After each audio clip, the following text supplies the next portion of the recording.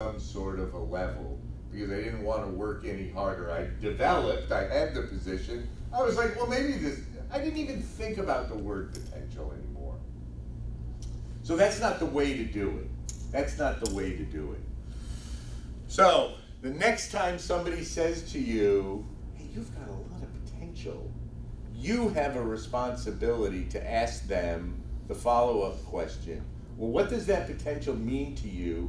And what are some of the things that I can be doing right now, right now, to get closer to realizing that, that full potential? Because, guys, this isn't a dress rehearsal. This is not a dress rehearsal. This is the show. You're in the show. And I never, in any of my classes, nor will I say it today, will I utter the words to you when you get to the real world, right? Has anybody had a teacher or anybody ever say that to them, right?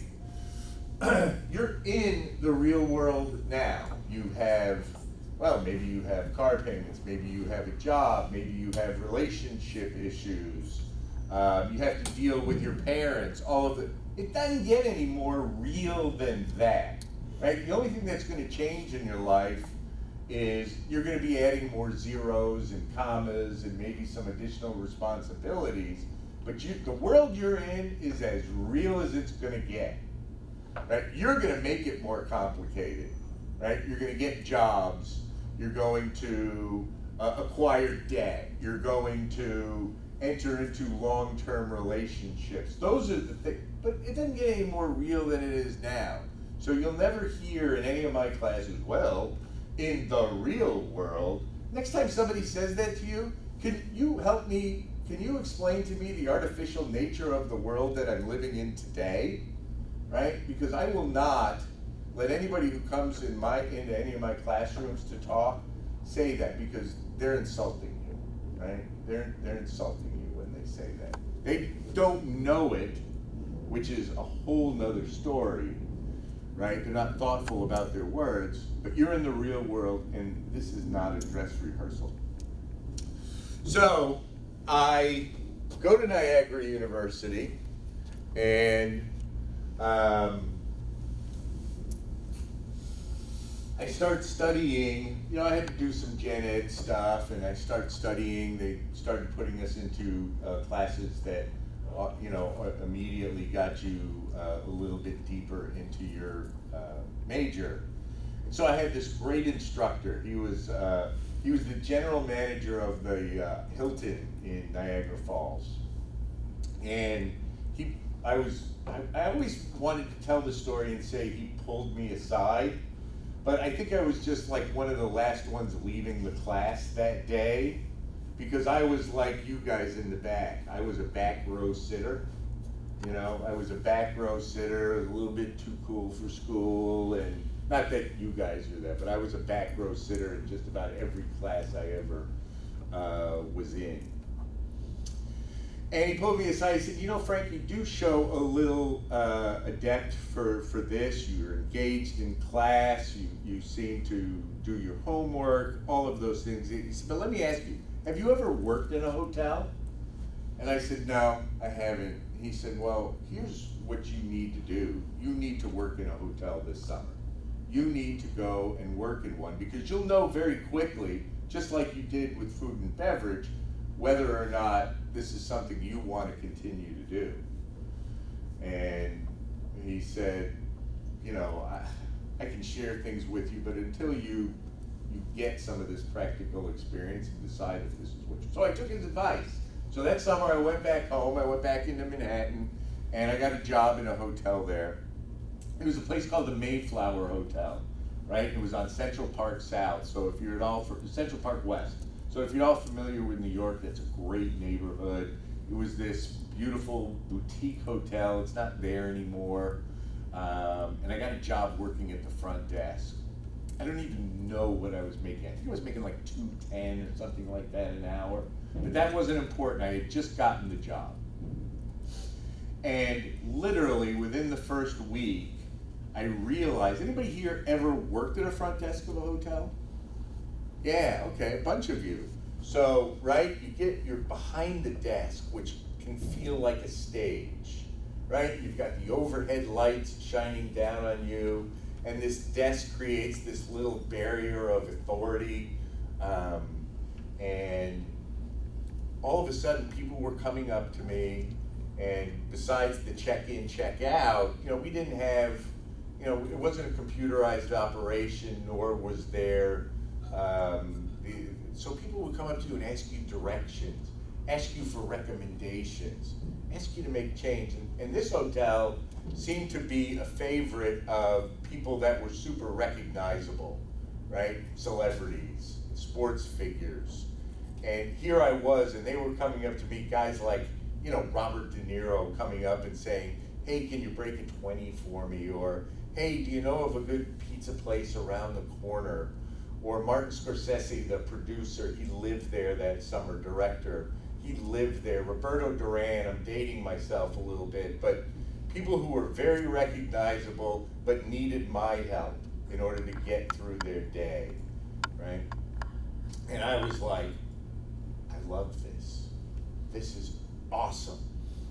This is the shit, and this is what I want to do for the rest of my life, my rest of my working career, because I felt needed, and I was struck immediately with what I call the nobility of service work, right? Because there are some of us who just can't see themselves serving others, right? Either we have an inflated sense of self, or maybe we're just too proud. I can't. But once you're able to tap into that nobility piece, that you know what i'm doing something beyond um, just you know doing my job. Um, once you find that in whatever it is you do if you stay with hospitality or you move on to computer science i don't know. But once you find the nobility in the work and it'll come to you or it won't right? It's not something i can teach you. All i can tell you is my experience that I was struck with it real early in my career. And so the idea of, of helping people, serving people, getting them checked in, getting them checked out, making sure things were going well with their individual stays came quickly to me once I started doing it. So I went back to school, I shared my experience with that same instructor. Then the following summer, I worked in another hotel, and I did that all through school. I worked in different departments. I worked in a reservations department. I did some housekeeping.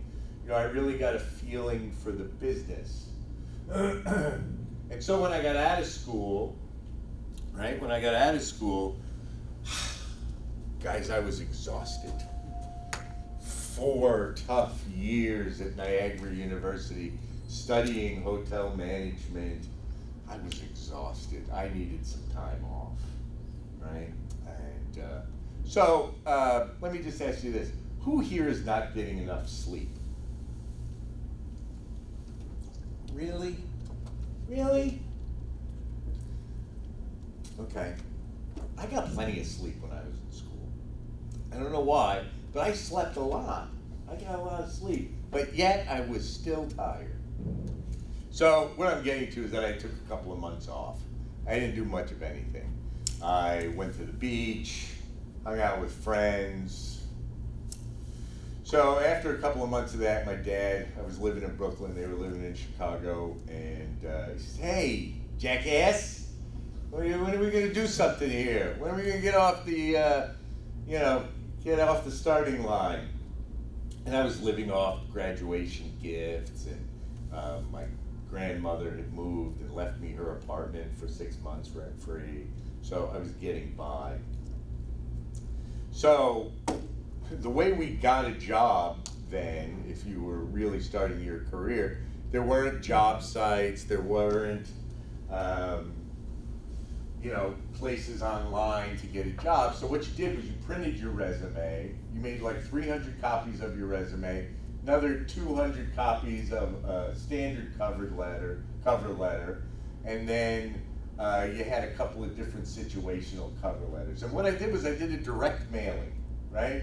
I identified every general manager of every hotel in New York, in the city, that I wanted to work at, and I sent out a mailing, basically, right?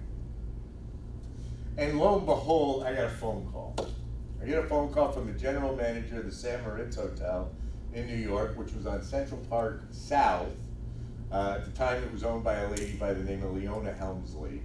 So she was the queen of the hotel industry in the 80s, early 80s. And um, I got a job as a sales manager, a corporate sales manager for her New York hotels. Um, I had no sales experience, uh, and um, you know, I showed up for work and I had this amazing office looking over Central Park, right? And I shared it with another gentleman who was probably I was 21, and Mickey Mickey Shong, um, Chinese fellow, was probably in his late 40s, early 50s, chain smoker, right? And that was when you could smoke in the offices, which like everybody did. Um, not quite Mad Men style, Mad Men style, but there was a lot of that. And um, I didn't know anything about what I was supposed to do. As a matter of fact, my first job uh, duty, so they gave me a corporate rate to sell of $91. Imagine staying in a five-star hotel in New York for $91. Um, and they gave me a bunch of sign-up sheets, and they sent me down the street to the GM Tower right? So for those of you who have seen New York, the Apple store, the one that's all in glass, the building behind it is the old GM building, right? So they said, just get in the elevator.